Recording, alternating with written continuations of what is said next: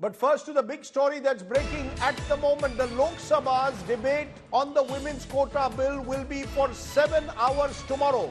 Seven hours now allotted for the women quota bill that was introduced in parliament that promises 33% reservation in Lok Sabha and state assemblies. Remember, Prime Minister Modi today spoke about it, but tomorrow we are now told Sonia Gandhi former Congress president will lead the Congress debate in the Lok Sabha. Remember, Mrs. Gandhi has claimed she is the one who has been pushing the women's reservation bill all these years. So, tomorrow it will be the turn of Sonia Gandhi to take uh, the stage, center stage, by speaking in the opposition reply. She hasn't spoken for a long time in parliament. Sonia Gandhi tomorrow, it was Prime Minister Modi today. The stage therefore set for the passage of the historic contentious Women's Reservation Bill.